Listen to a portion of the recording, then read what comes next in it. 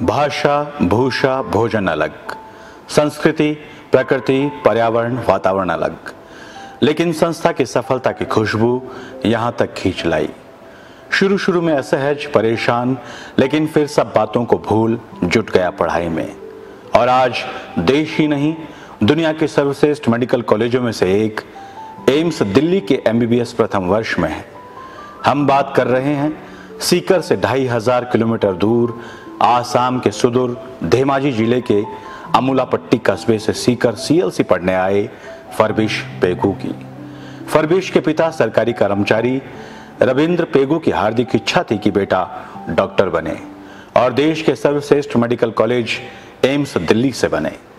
बेटे को डॉक्टर बनाने के लिए एक अदद संस्था की तलाश शुरू हुई।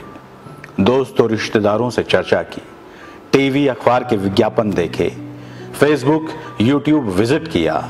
जिज्ञासु पिता ने सब कुछ छान मारा। फिर एक दिन नज़र पड़ी यूट्यूब के एक वीडियो पर, जिसमें संस्था संचालक रात के एक बजे अपनी टीम के साथ बच्चों से स्टडी कैंप में बात कर रहे थे। पहली बार तो आँखों को विश्वास नहीं हुआ कि इतनी बड़ी संस्था का मालिक रात को एक बजे तक बच्चों के लिए कैसे जग सकता है, क्योंकि पढ़ाने का काम तो दिन में हो जाता है। बाद में गहराई में जाकर छानबीन की तो पता चला कि वहाँ तो रोज ही ऐसा होता है। संस्था संचालक 8000 बच्चों को नाम से जानता है। हर बच्चे की रिपोर्ट टिप्स पर रखता है। एक एक बच्चे की प्रॉब्लम खुद सुनकर मिटाता है और देर रात तक बच्चों के लिए जागता है। रविंद्र पेगू की मानो तलाश पूरी हो गई हो, मंजिल मिल गई हो। उस संस्था का नाम था सीएलसी और उस जुनूनी संचालक का नाम था इंजीनियर श्रवण सीएलसी। पिता पुत्र ने बिना एक दिन गवाए सामान पैक किया और सीकर रवाना हो गए। एक पल के लिए भी नहीं सोचा कि घर से ढाई हज़ार किलोमीटर दूर दसवीं पास एक छोटा सा बच्चा वहाँ कैसे रहेगा। लेकिन कहते हैं, कुछ करने के लिए मौसम नहीं, मन चाहिए। साधन सभी जुट जाते हैं, सिर्फ़ संकल्प का धन चाहिए। फरबिश ग्यारहवीं, बारहवीं में सीएलसी सीकर पढ़ता रहा। समय के साथ वातावरण में ढलता रहा। मेहनती, शालीन और सौम्य। फरबिश दिन प्रतिदिन अपनी मंजिल की ओर बढ़ता रहा। संस्था के unparallel academic curriculum schedule system personal care doubt counter study material test quality night study camp evening assembly सभी सुविधाओं का फरविश ने भरपूर फ़ायदा उठाया। ऊपर से निदेशक श्रवण सीएलसी के मोटिवेशन ने सोने पर सुहागे का काम किया।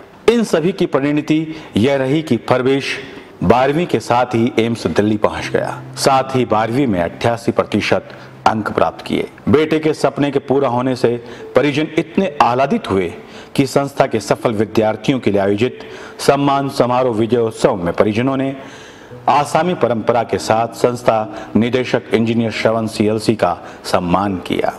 फरवेश आज अपने कैरियर के लिए घर से सैकड़ों किलोमीटर दूर रह रहे हज़ारों विद्यार्थियों के लिए प्रेरणा स्रोत है। घर से दूर चले आए हैं, मीलों चलकर, गिरकर उठकर, पीठ पे अपनी झोला रखकर घर से दूर चले आए हैं।